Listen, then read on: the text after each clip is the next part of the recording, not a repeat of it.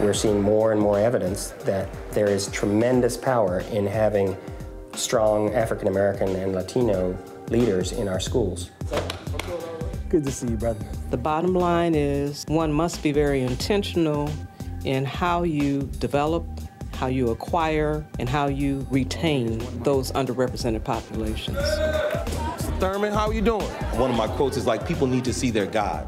In that sense, they need to see their likeness in the people that are in places of um, authority.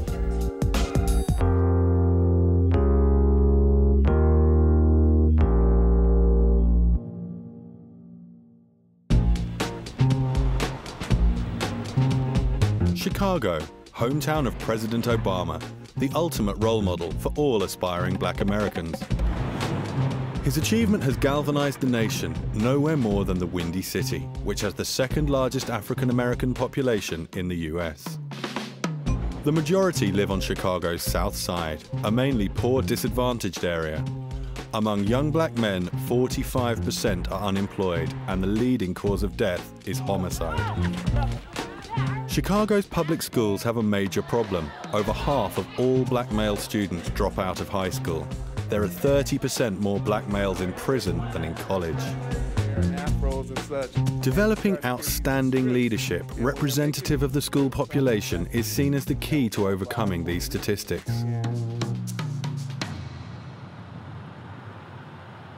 I grew up in this neighborhood. I grew up on the south side of Chicago.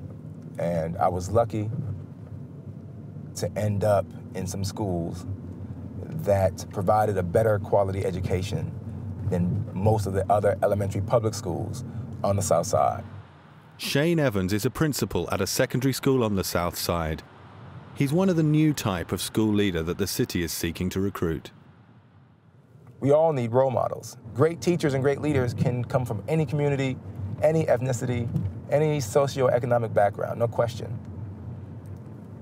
But there is something powerful about when a young man sees someone who comes from his neighborhood, or a young man sees someone who might not come from the neighborhood but shares their experiences, or at least share some adversity, or can understand or have some cultural competence. I think it makes a difference. It's an added benefit. I think it's important to have representative leadership in schools. Uh, first and foremost, uh, because it shows an appreciation for, a respect for one's culture. What's up, Gerard?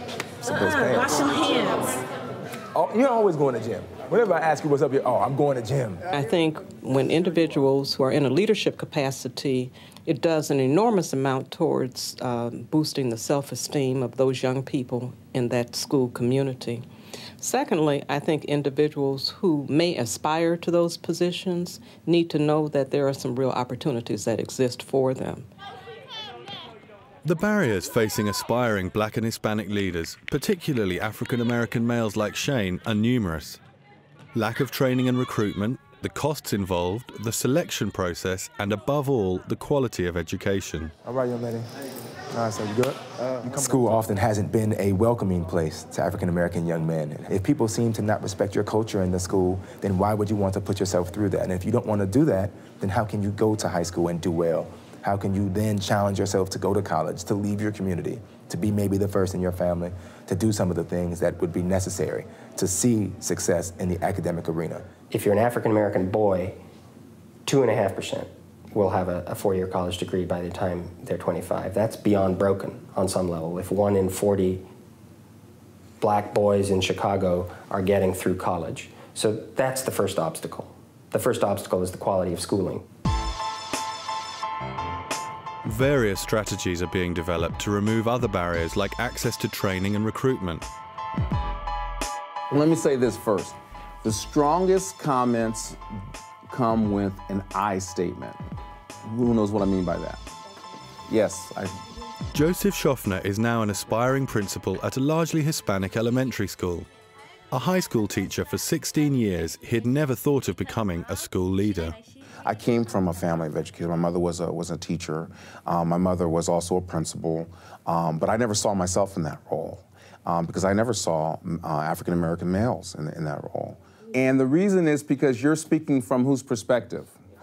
from, from your own. So For uh, African American males, the training and support that would help support one's ability to really be a successful leader was lacking.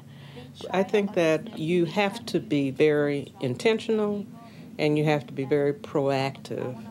There has not been a focus on any sustained effort to recruit, train, and support so that those individuals could succeed.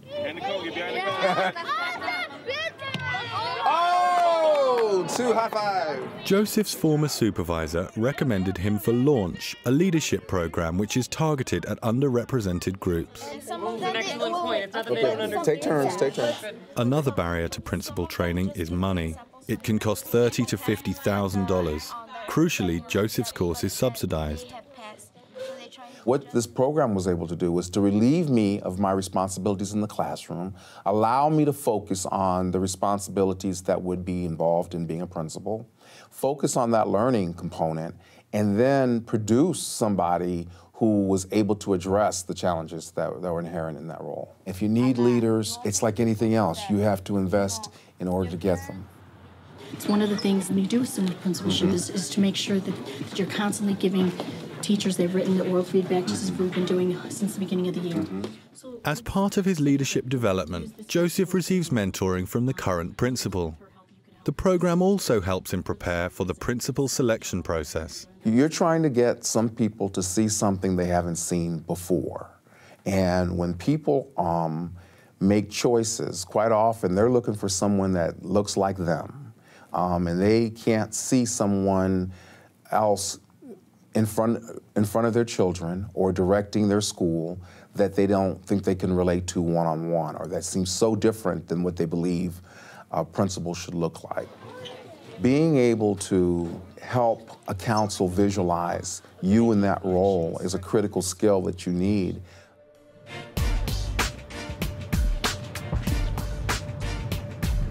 To tackle the barriers of quality education and the lack of leadership candidates, the University of Chicago's Urban Education Institute aims to create a new model for urban schools.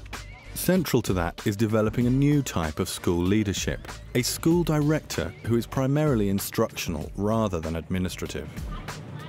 Our view is that leaders need to be extraordinary instructional leaders. They need to be, to use the English term, they need to be really, they need to be head teachers and they need to be able to coach and develop and mentor their faculties in very explicit ways.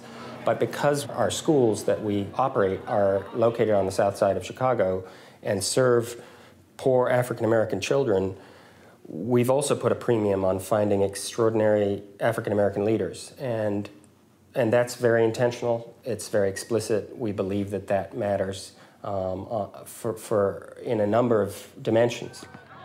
The university has set up four charter schools similar to academies in the UK.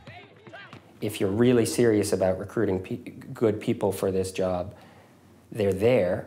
They may not emerge through the traditional pipelines.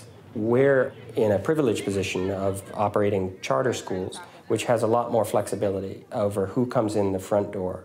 And so the kinds of questions we ask teachers are not, can you show us your resume with your qualifications and your certification? They are, when you faced adversity, what have you done about it? What do you believe is possible for these children?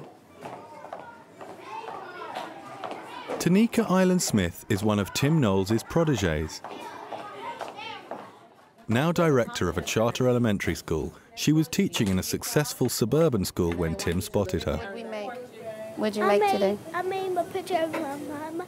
My experience is the people who aspire to be school leaders often are not the right people to be school leaders. The people who, who really are deeply passionate about the work of the classroom have to be dragged kicking and screaming. Listen, Nyla's going to share, guys. If there was one job I knew that I didn't want, it was the job of becoming a principal or a director of a school. And I was adamant about that for years. Um, I really enjoyed working with teachers and supporting teachers, coaching teachers, giving feedback, but I didn't want the level of, in my mind, of administrative that came with becoming an administrator. But I, I came to learn that I really had a warped perception of what the role is and probably a perception of a job that actually did exist at one point, but that we're trying to move away from. That perception changed when Tanika shadowed another school director for a year. As school directors, your primary role is to be the instructional leader of the building. You know, you will have an operations manager that manages the budget. You will have an office manager that handles a lot of the paperwork for you. We want you to focus on empowering teachers, making sure the instruction is aligned and that the kids are being taught well. Who can explain to me what an inference is? Some of your own thinking into it. Mm, you're putting some of your own thinking into it, and why is that necessary? Because sometimes um, in the text it doesn't always come right out and say it. So you have to use a little bit of what you know and add it to what you read?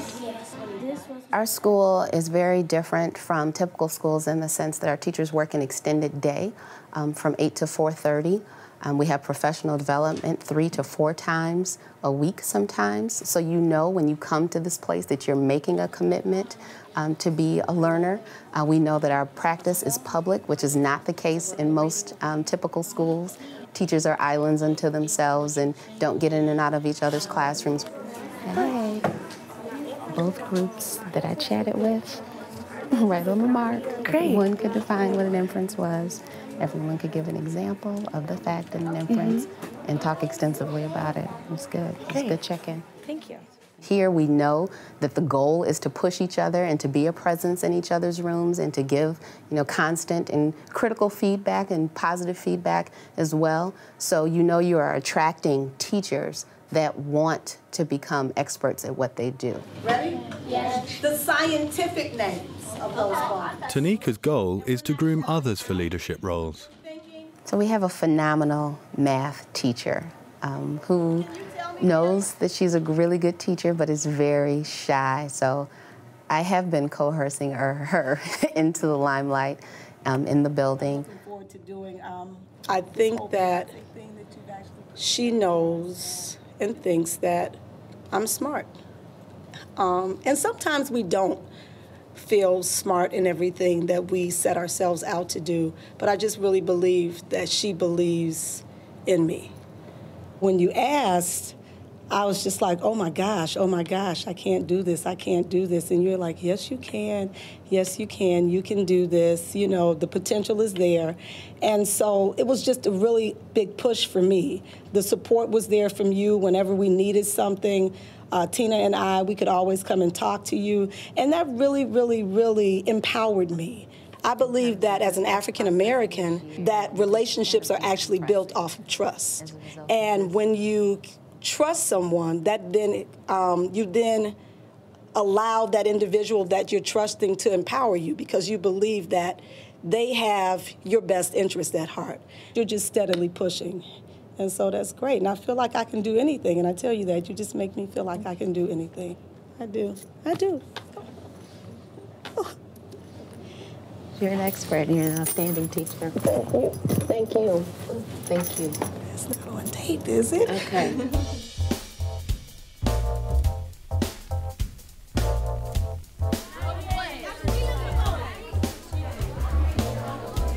Thurman, how are you doing? Developing African American male leaders within school is Jared Washington's mission. He is director of another of the University of Chicago's charter schools. His own career began in a predominantly white area. It's 755. I became a teacher there in Normal, Illinois. And Normal is normal um, in terms of America. It's, it's not a very diverse place. I walked into a school where I was the first African American teacher. Um, in a district of 600 teachers, there were six African Americans. Prove by your efforts every day to all that we are rising. In farming, trade, and literature, a people enterprising. Jared left Normal for the South Side. He wanted to give something back to his own community. Our churches, schools, and home life pure. Tell the world we're rising. Thank you. Most principals haven't been trained to be instructional leaders or to be leaders, period. They've been trained to be managers and supervisors, you know, and facility caretakers and planners. But what about the teaching and learning? And in these communities, I think the deal is this it's most needed here.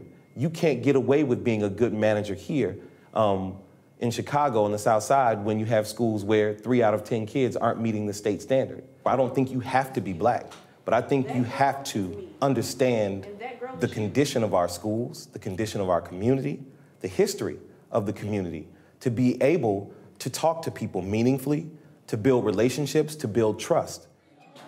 As an instructional principal, one of Jared's aims is to grow his own leaders, but first he has to find them. There's supposed to be a scarcity of African American males who are ready, educated, um, and able to work in these schools and, and do, do great things. And I think part of that determination depends on who's sitting on the other side of the interview table. Because we have to own the fact that there are certain ingrained stereotypes, there are certain messages, such as the message I just said oh, there's no black men teachers, or oh, the majority of black men are in prison. These are messages that we get. So when an African American male walks through the door, there's a bag of stereotypes trailing with him. We have to move beyond sort of the traditional pools of folk. But then, what are the other avenues that are available to you for recruiting? The most valuable avenue that I've found is reaching out through the teachers that exist here. It's easy to cast that net at the job fair and say, oh, there were none. I didn't see any African American candidates. Exactly. But where else did you look? What is the objective of our career unit? Yes. As at Tanika's school, everyone's classroom is public. Our career unit. So, Mr. Lowe, do you want a certain number of things, or did you want them to identify two or three specific things? Uh, two or three specific things would be great. Jared regularly observes lessons, models teaching, and gives feedback. I think my role is to demonstrate the direct opposite of what people believe is that no, leadership can be taught, leadership can be cultivated. The lesson that we're going to watch um, is uh, actually from 6 to 16. Um, Mr. Peter Gooden, he teaches the high school and the uh, college preparation class. Okay. And what he's been working on with the kids um, are interviewing skills. Jared is reviewing a lesson with his new assistant principal. Is this teaching? Is this teaching? Yes. It's modeling. Mm. So that and that's what I'm asking. What moves or what elements make it teaching? You say it's it's a part of teaching because he's modeling and showing them what it is that is expected. Um, he's doing all the talking though. He's getting a little bit from the students and he's practicing with one with one student, but they need to get out and get going. Some of Jared's feedback sessions are more extreme. The video analysis piece, we do what you and I just did, mm-hmm. whole group. Okay. It's on that screen. Ooh. Oh yeah. Ooh. Oh yeah. So then I will give him his video and give him my pre-feedback so okay. that he doesn't get Beforehand. hit. Okay. But at the same time, 15 more people are going to see different things. Correct. On Monday, we're going to break down in small groups. It's the hot seat. Um, and then people can get some real feedback.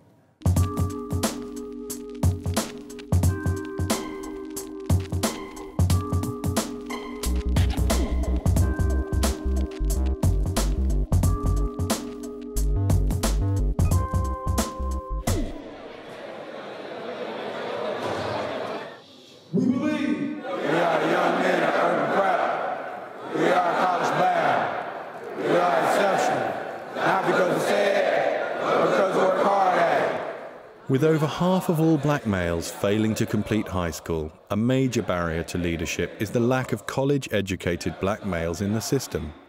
Urban Prep Charter Academy's target is to get 100% of its students to complete college. All the students are boys, all are African American, and 85% come from single parent households. We believe in ourselves, we believe in each other, we believe in Urban Prep, we believe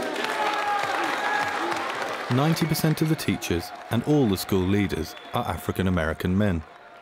we wanted to make sure that within the school context, there were many models and examples of excellence and positivity among uh, the teachers and staff members that the students interacted with. And so a part of that had to be uh, making sure that we had African American males, folks that looked like the students within the school. It's really hard to be something that you've never seen.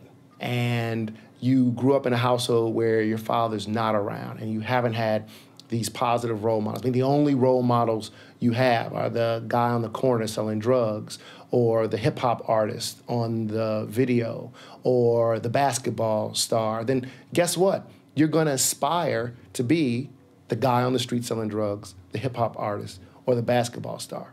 We have to provide these students with other options of what can uh, be a successful life. The students have one outstanding role model.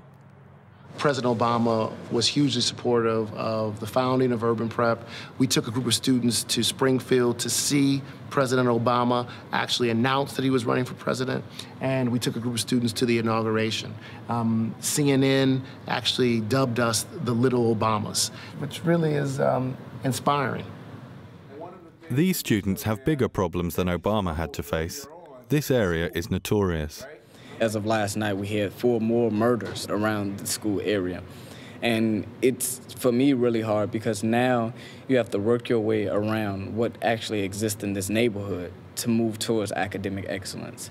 Because when you have the majority of people around you who really don't care about their lives and their futures, then it's kind of hard to surpass them because they're always pulling you down. So for me, just seeing from day to day things of people getting jumped on to people fighting to me having to resist fights, many times having to run from fights, and just many other things so that I can actually live another day because to tell the truth in this community it's all about life and death. Every situation that you get in is about life and death. Today we're going to uh, talk just a little bit about the application timeline and what your senior year is going to look like. So the barriers to completing high school, let alone college, are more than academic. The school's culture is crucial to this. All students belong to a pride, a group headed by a teacher which meets every day. Matt. Good to see you, brother. Because like a lot of times your brother or your friend don't want to do something like say, for instance, like come to class or come to school, and you probably, you know, you probably not gonna, you probably gonna feel the same way, but somebody got to step up and be like the leader. I feel that we can connect to the students in the school, like we can connect with them a little bit closer than maybe the teachers can, because we're in the same we're in the same age bracket and we're all growing together. Oh, those are real powerful things, real powerful, man. Y'all got me proud of it. All right, very good. Me personally, I am those students. I just have a few years on them, you know, more than I can remember, but I have, you know, those experiences. I've been through those. I see myself in my students. So in that, I'm, I share those stories and those personal, and, and try to cultivate those personal relationships. So it's not just I'm imparting this, I guess, you know, knowledge in terms of how it is to be to be able to get to college on the academic level, but some of the things to kind of help them navigate their neighborhoods, their families, and some similar experiences. So they're not just saying, oh, well, he's black, you know, I can make it too. Okay, what are some of the things necessary in order to me to get successful? I've had problems at home. How did you, how did you navigate some of those problems at home? These things can often be uh, hindrances to their own development and stumbling blocks, and we want to be very, very deliberate about meeting those needs and addressing those issues so that they can be successful in college. We see those people as mentors that look like just like us. So, you, you know, we know that they've grown up just like us. Um, it's like seeing, it's like them seeing us walking in their shoes or, you know, or vice versa. In the streets, like a regular high school, you have, you have teachers that they just do they come, do they get paid to do. And at Urban Prep, you have teachers that have suits and come to school with suits and uh, have, have uh, education and that want that makes you like want to be like them and how you want to go to college and do and become teachers and professionals like they do. In grammar school, it was pretty much I was thinking about, um, you know, graduating high school and getting some type of job at McDonald's or something like that. Well, now you know, college would have ran through your mind a couple of times, but you really didn't think you would make it because in grammar school, you don't have teachers who tell you every day, you know, you're going to college. Just like, well, if you go to college, you don't. That's kind of the mentality of them. Well, now it's changed to the point where college has no doubt in my mind that I'm going, that I'm going to pursue a professional career, and that I'm going to succeed in life.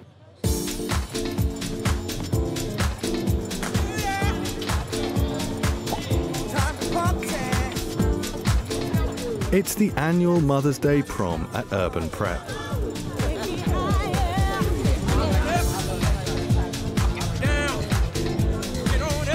The school has yet to see how many students complete college, but across the city, outstanding black and Hispanic leaders are achieving results.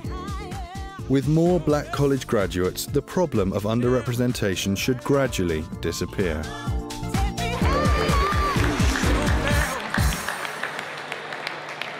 There's incredible strength living in every schoolhouse, at least in my view, in America.